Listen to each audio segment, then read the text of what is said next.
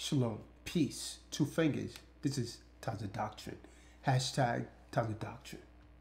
Let me explain the difference to you between a de facto and a de jure government in detail. See, in law and government, the de facto practices exist in reality.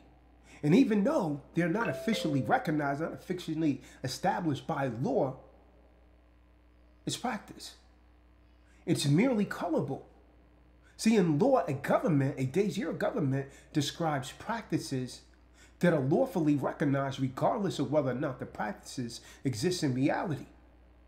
The difference between a de facto and a de jure can help people that's facing foreclosures to understand the basics and better know the comparisons theory.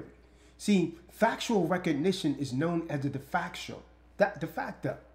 Lawful recognition is known as a de jure. De facto is temporary. It is not permanent. De jure is permanent. A de facto is a temporary and provisional recognition which could actually be withdrawn. De jure, which is lawful, de jure is lawful recognition.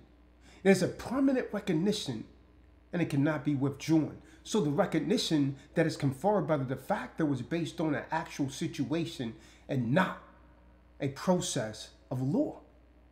De jure's recognition, right? De jure's recognition given after following due procedure of law. But in the de facto diplomat, representatives are not exchanged. But in the de jure diplomat, representatives are exchanged. You understand what I'm saying to you kings? You want to know law? Well, I'm showing you the law. You understand? State sessions rules do not apply under de facto. Under the de jure, state session rules are applied.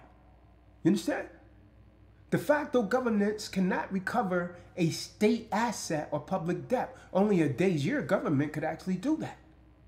Members of the United Nations is not possible.